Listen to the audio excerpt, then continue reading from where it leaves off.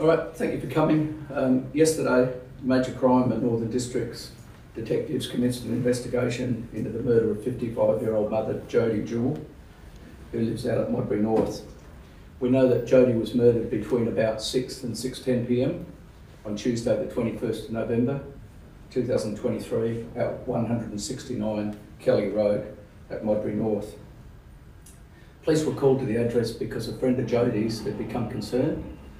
Jodie had reported to the friend in recent times that she'd been the victim of domestic violence, which had never been reported to authorities. And when she couldn't contact her, she became concerned that something bad may have happened. As a result, she contacted the police. The police went there. They later made an entry to the premises and sadly found Jodie um, had, was dead within the premises. Forensic response section and major crime detectives, Northern Districts detectives, that's supported by others from across the metropolitan area, attended and conducted an intensive investigation last night. Uh, we know that Jodie died from a gunshot wound. We won't say what type of firearm or how many shots or where she was shot um, for operational reasons. But this morning we obtained a warrant. This morning we obtained a warrant for the arrest of her husband Kevin Jewell in the Adelaide Magistrates Court on a charge of murder. Kevin lived at the premises with Jodie. He lived in an upstairs area, um, and Jodie and her daughter lived downstairs, and they'd been somewhat uh, estranged um, for a period of time. We believe Kevin is armed with a rifle and ammunition, and he would know that police are looking for him. He's considered to be armed at this point and is considered dangerous and should not be approached by anybody. We know he's driving a white Mitsubishi Triton. Uh, we'll have a photo for you in a minute, but registration number XTN167. It's quite a distinctive vehicle. It's got a heavy checker plate tray, aluminium checker plate tray on the rear, and a very large toolbox immediately behind the cabin. And the last sighting of that, that vehicle was at 7.28 p.m. yesterday evening uh, about five kilometres south of Port Wakefield, heading north. There's been no sightings of the vehicle since that time. Kevin Jewell is described as 55 years of age, whose average build about um, 90 kilos, about 178 centimetres, and scruffy appearance. Um, we're not sure what sort of clothes he'd be wearing today. We don't know where he is, and we don't know what direction he's gone from Port Wakefield would encourage anybody, if they see Kevin Jewell or his vehicle, to not engage with him, but to immediately contact police and report his location to police immediately. Um, if anybody has other general information about their relationship or perhaps what the motive was, then they should ring Crime Stoppers in a normal manner. But if anybody sees him, I emphasise, ring the police immediately and don't engage with him. if Kevin is watching, I make this appeal to him. Kevin, you can't undo what has been done last night, and a warrant has been issued for your arrest today.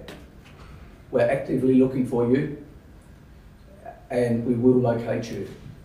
I encourage you forthwith, straight away, without any delay, to engage with a solicitor and negotiate your safe surrender to police. So just repeating that, Kevin, contact a solicitor and contact the police and arrange for your safe surrender. I'm happy to take questions. Does anyone else live at that property? Yeah, Jodie lived there with their daughter, How old was their daughter? What is their daughter? uh, teenager. Is, is that also Kevin's daughter? Yes. And do you believe the ute he's in is Kevin's? Yes. He's a P plater? Uh, I'm not sure that he's a P plater, but it's his, his ute and that ute's unregistered. Welfare of the daughter. Um, obviously, she's facing the trauma of, of what's happened, um, and she's been looked after by relatives. Is the belief that she was in the house at the time? No, she wasn't in the house at the time. Do you believe that the firearm he used in the alleged murder is the one he's armed with on the run? Yes. And is that a registered firearm? Yes, Kevin's a licensed firearms holder, the firearms were registered, the firearms were stored in accordance with the Firearms Act, and there's nothing in the antecedents about Kevin or his family that would prevent him from owning a firearm. And nothing was reported about Kevin before this incident. No. Um, this is the fourth woman to have died in suspicious. Can you say again. This is the fourth woman to have died in suspicious or unexplained circumstances in a week. Why is this happening? Do you have a message for the community? Um,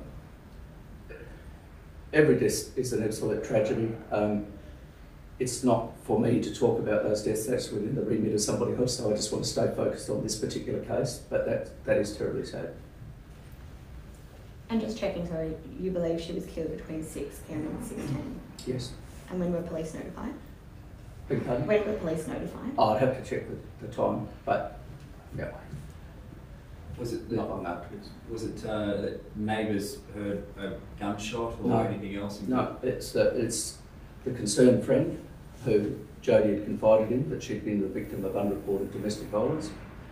And Jodie hadn't been in contact with her and she started to worry and think, what if, what if something bad's happened? Better contact the police and she did and we're grateful to that and it was the right decision. Were there Um, any other correspondence to that friend in that immediate lead up to the murder? I'm not sure what you mean. Did anything else indicate that she was in trouble at that time? Um, not that I, not that I'm aware of at the moment, but she's obviously confided in her friend over a period of time. So that will form part of the, the evidence used, mate. I know it's only early in the investigation, but police have a time frame of when she was um, likely have been shot and killed. Is there like Be- Between six and six ten. last? Of it, so that was when the offence. Yep. happened. Okay, yeah, sure. I just wanted to. Sorry. How do we know that? Oh, I won't get into that, but the investigators know that's the time when it happened.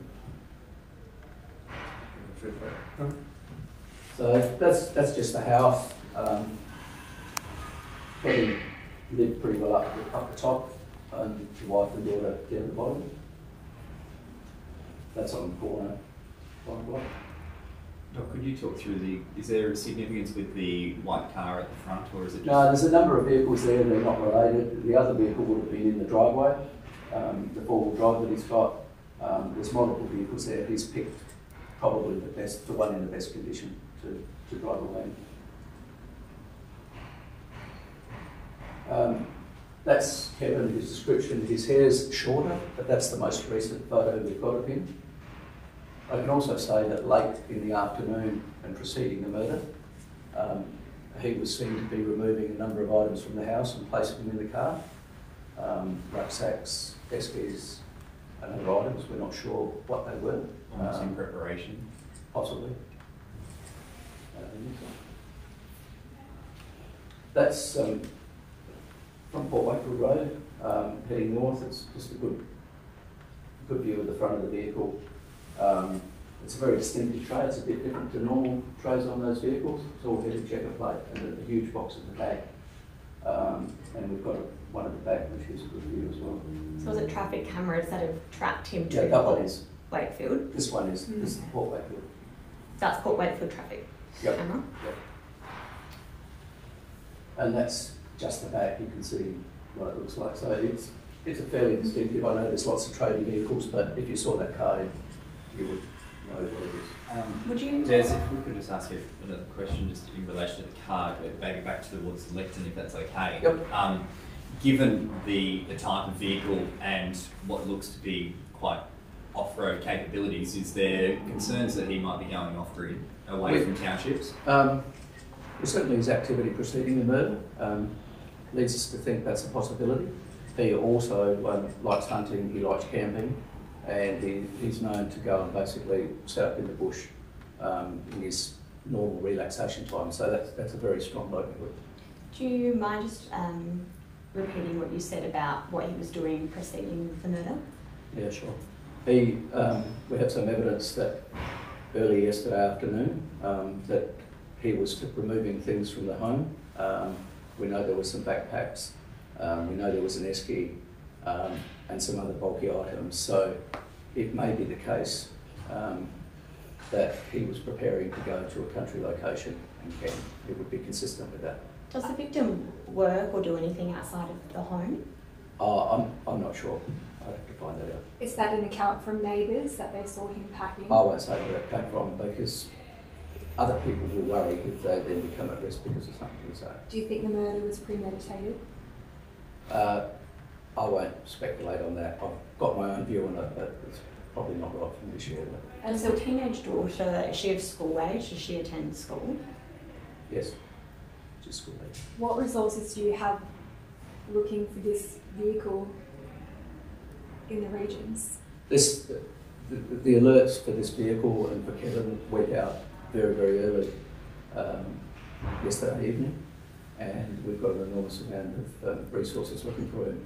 The alert has gone to every police officer in the state. We've had aircraft looking for him, um, and we've got a large amount of people devoted to finding him. Is And that- that's the emphasis at the moment is on identifying where he is. Is that what the arrest warrant does? Does it alert every officer or is it just we- a we- legal As soon as requirement? we, in something like this, we identify a suspect and we get it out straight away to every police officer in the state. So we've got five thousand people looking for him instead of a handful. Are there How at risk known- are people in the community? You were saying that he is a risk at the moment. How Beg your pardon? how at risk are people in the community? Uh, uh, my, my advice to people would be that he, he doesn't, there's, he's not in conflict with any other person in the community. He's obviously dangerous because he knows he's wanted and he knows what he's done and he probably doesn't want to go to prison. Are, Um, are there known areas of maybe camping, or if it looks like he's quite well equipped and, and understands bush and going off grid for a while, are there any known areas that he liked to frequent? Or Um, there is there is some talk he's gone to northern areas, mid north, west coast, but realistically he could be anywhere in the state. Last question. Can I just ask you about the Palau extradition and how hard has it been for major crime detectives to bring that attempted murder suspect back to be Um, prosecuted?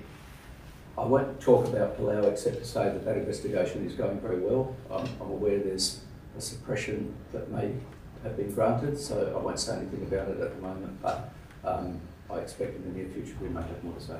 What is the process of that extradition of Lyons? It's just a normal extradition process. She'll eventually come back to Australia and then if she goes to another city, we'll extradite her from here, from there. But I, I don't want to talk about it because I only got advised of the suppression order before I walked into here. Um, but we may have more to say in, in the future. Can you just give an update on uh, Felix, uh, to Sure. Um, a, a release has gone out about a man who was arrested up on the APY lands. Um, he appeared in court yesterday, I believe, and will be remanded in custody. And we're not searching for anybody else in respect to that murder. Did he live at that same property in Felixstowe? Yes.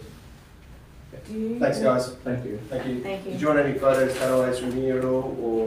will they be on? That's They'll be okay. put up That's on the fine. We'll send you stuff for the release. Yeah, Yeah. yeah, okay, Is that's there a fine. family approved photo of